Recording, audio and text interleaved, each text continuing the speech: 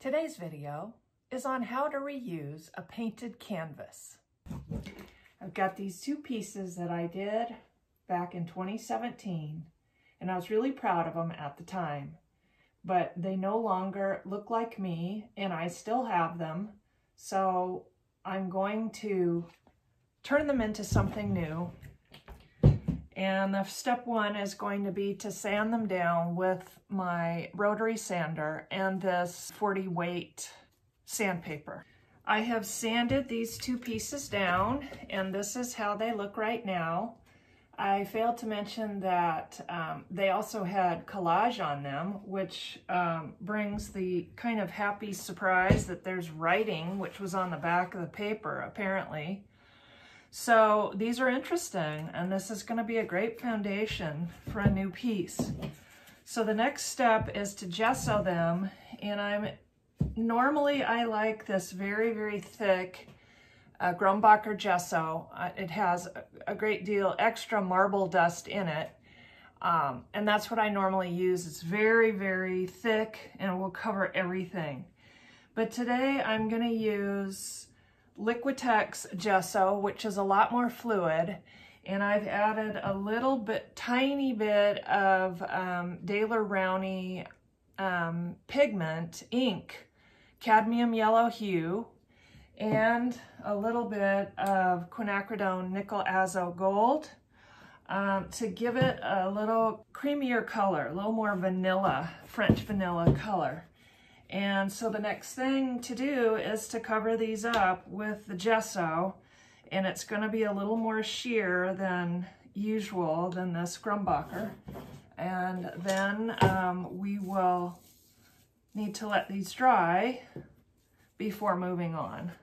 I'm in the middle of a bird series, so I the chances are pretty good that we're gonna get some birds on here. And um, that'll be next. So you can see that it's uh, showing some of what's underneath and the pattern that I pressed into the gesso originally is showing up. There's a mandala pattern that I pressed into the gesso there that you can see a little bit of. So that's showing as well.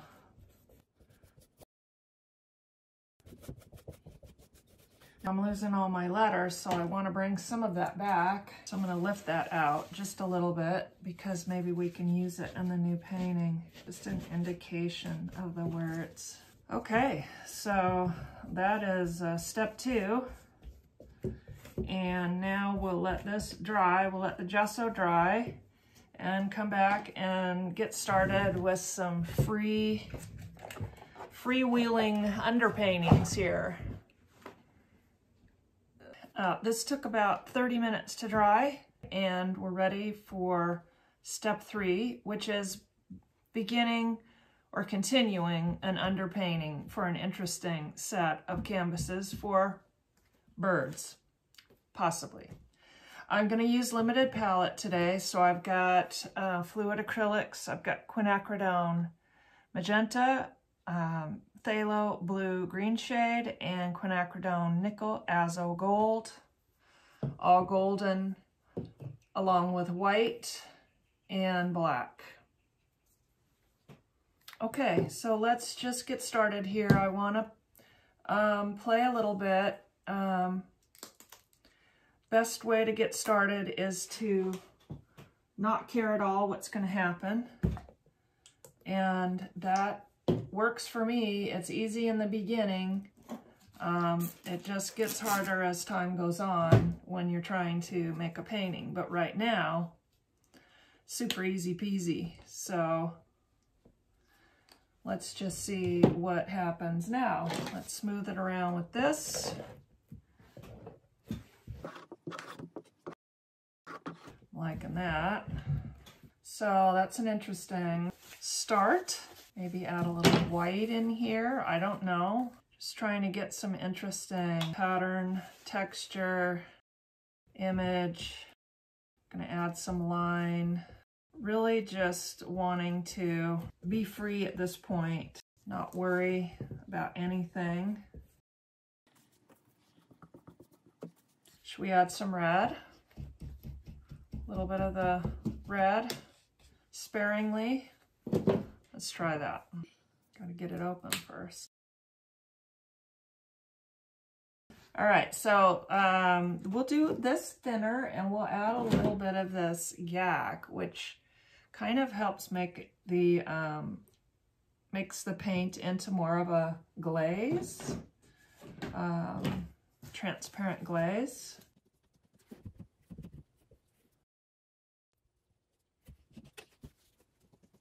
I can feel pink kind of creeping into my palette, which is a little bit weird. I don't usually use pink, but um, it's uh, pink showing up. We'll see what happens. I don't know what that's about. Maybe we need some, you know, brightness and play. Everything's getting kind of serious. All right. So um, that's a cool start. I think I want some line in here. We'll um, add a little black line. Which way do we want to do it? Um, charcoal or paint?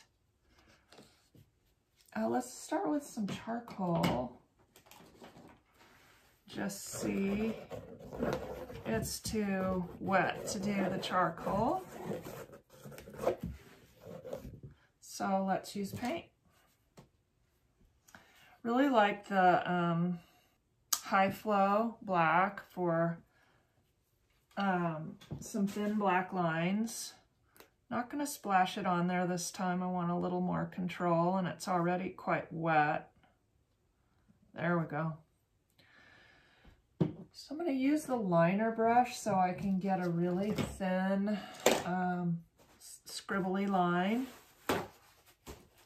moving through the painting. And um, again, I'm not really, I'm just playing. And we can add some structured line.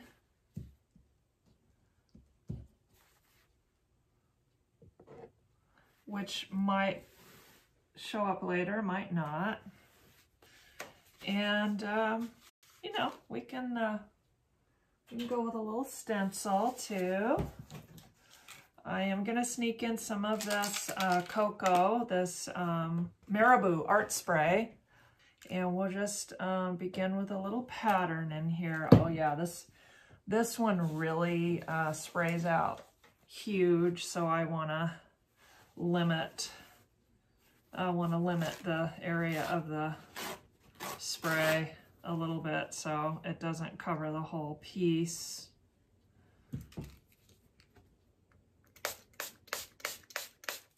See what I mean? Okay, um, then this one we'll just press it down. See what we get. I love that. I love that um, sort of ghosty thing there. We'll use a little different one and cover it up again so that it's not too much. And I'll definitely be using some of the collage papers we've been making on the gel press plate um, with this, which has been super fun. Uh, so that'll be what, step four?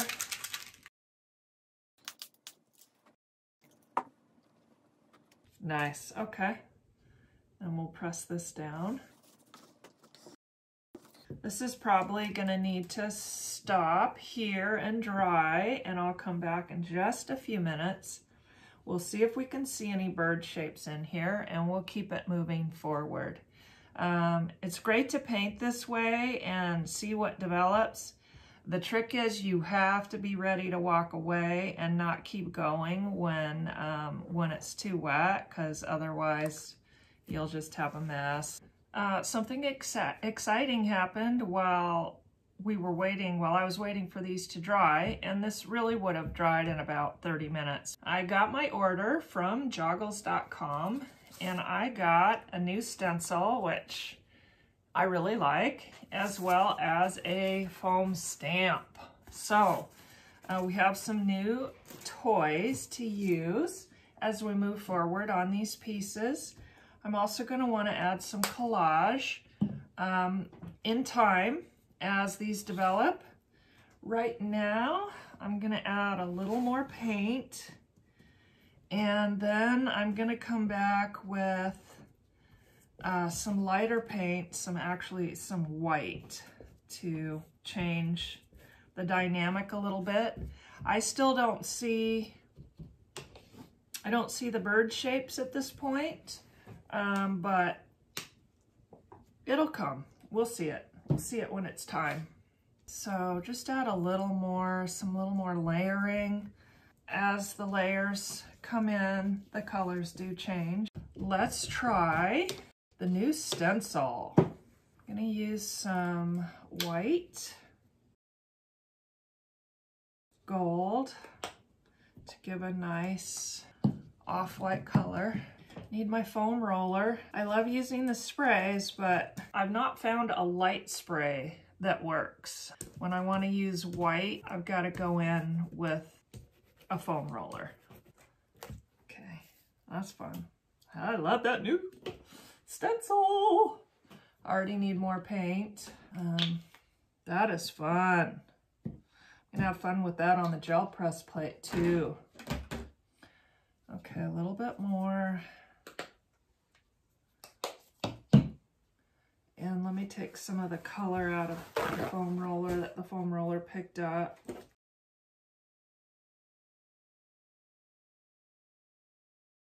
Okay, wow. Let's see what else we can add. Maybe scribble around a little bit of white. Do we want to lay some collage over starting now? I am loving this collage paper so much. Um, this is Tim Holtz. Uh, this is amazing stuff. So um, I was going to use my finger, but I'll try and behave myself. We'll put a little collage paper on here. And um, it's almost going to be time to let these dry again, let them rest.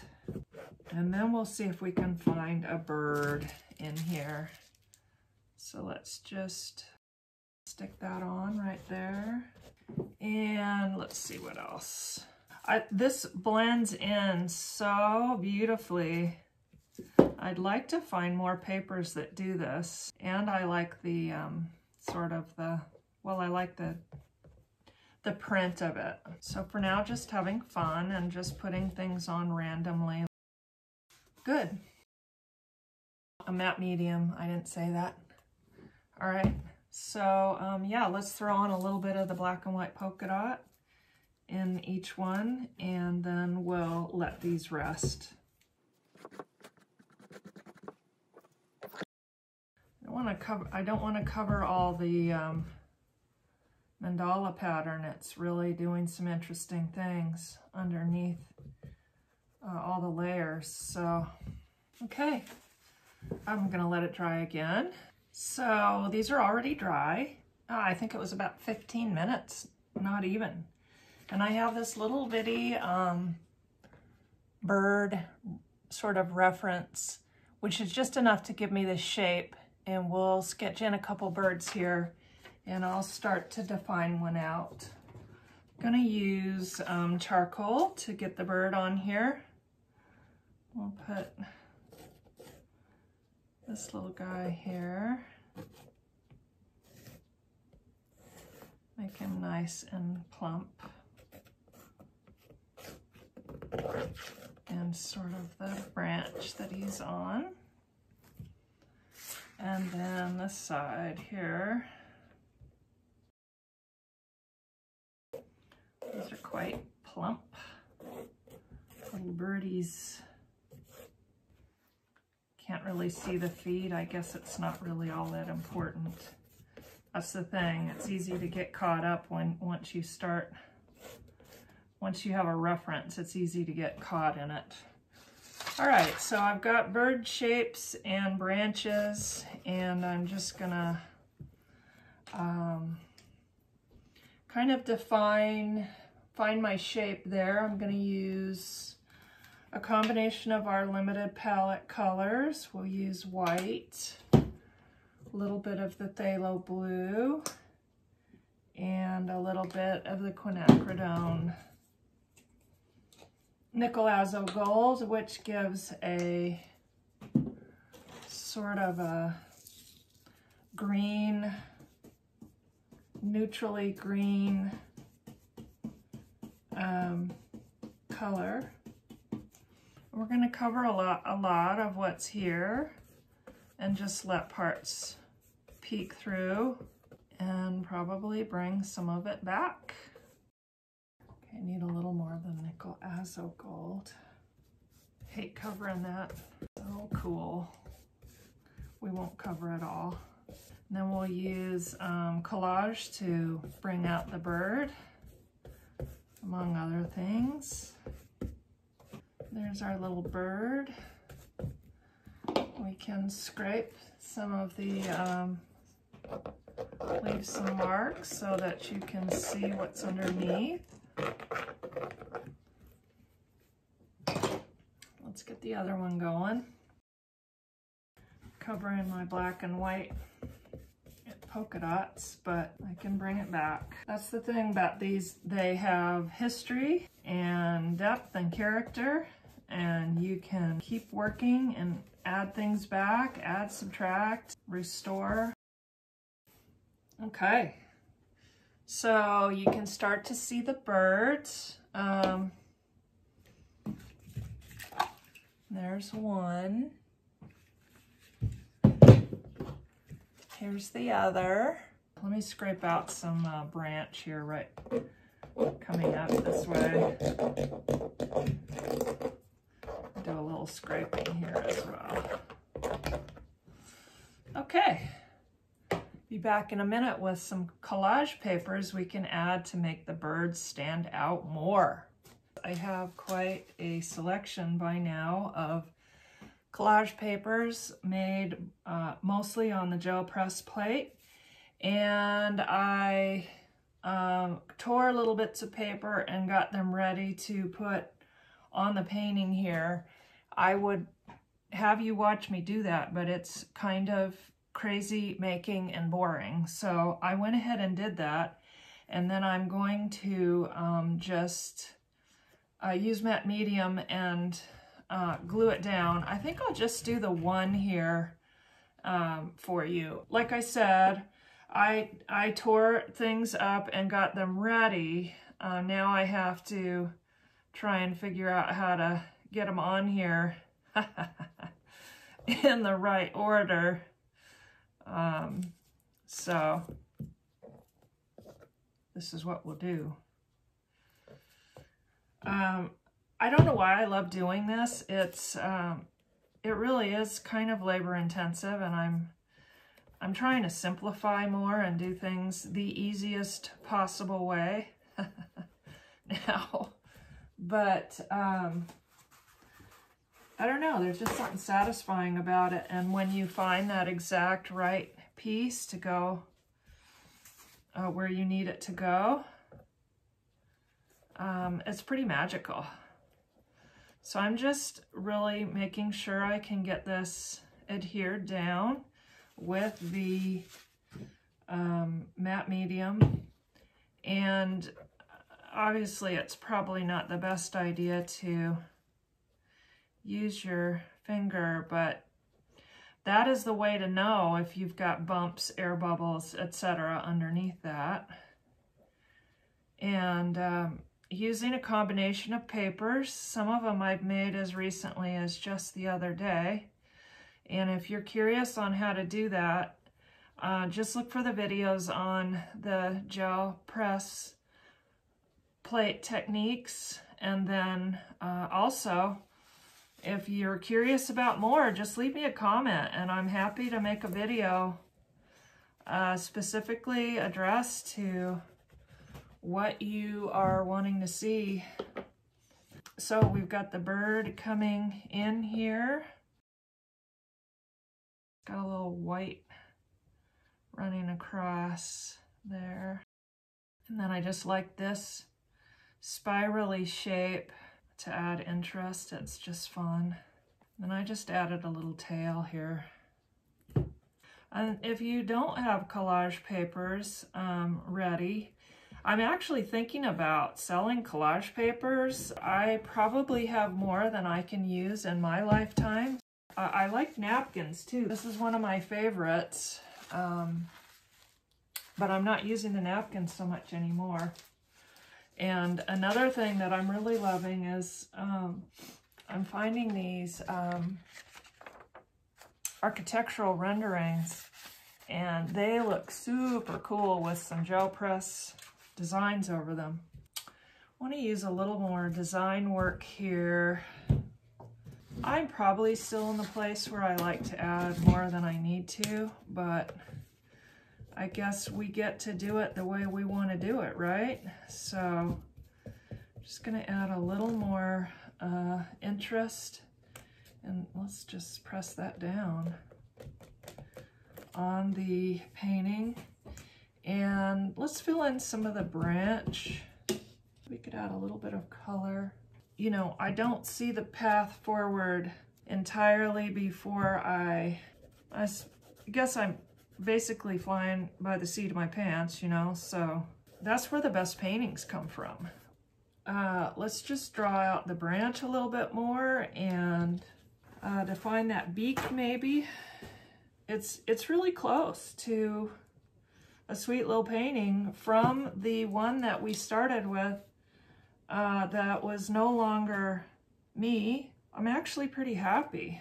All right, let's um, give a little more interest to the branch here.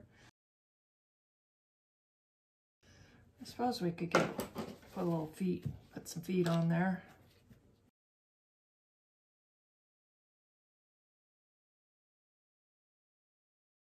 And so let's do a little more branchy.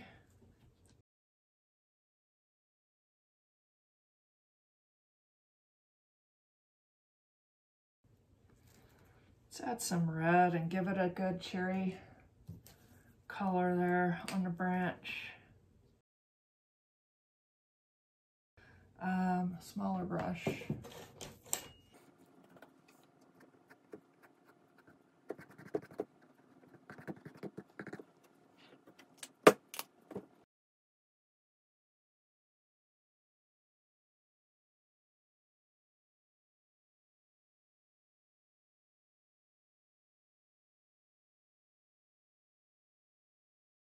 Okay, that's good for now. Well, we did it. Uh, we took two outdated paintings that nothing was wrong with them and created two new pieces. Here they are. Really happy with these considering where we started. So uh, if you stuck with me for the whole video, I'm super impressed. Um, thanks for watching. Once again, it's Vikki Reed with Paint by Heart. I'll see you next time.